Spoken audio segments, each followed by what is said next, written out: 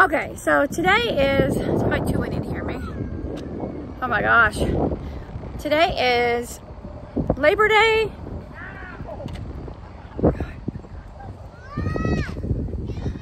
So today is Labor Day. It's also my birthday.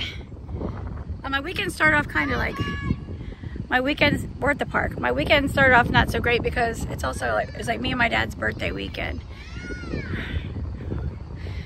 It's me my dad's birthday weekend. So like for the last couple years since he's passed away, I just get kind of sad on a birthday weekend. His birthday was Friday, August 30th. Mine's today, September 2nd. I'm officially 46. So yeah, if you want to send me a birthday present, my Venmo and PayPal are always linked down the bottom of the description box. I'm just kidding.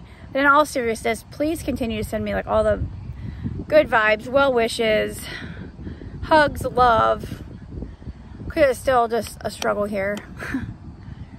I'm doing what I can. I'm finally back to working five days a week now that school is back in. Selling things on Facebook, trying to grow my TikTok and my YouTube to have more income. To still be able to get the kids to school and home from school. Oh my gosh, we're at the park and I couldn't even walk over here to sit down and be left alone for a minute on my birthday. So here they all come. But yeah, it's my birthday. I just need a day off. That's all I need. A day off and a day out.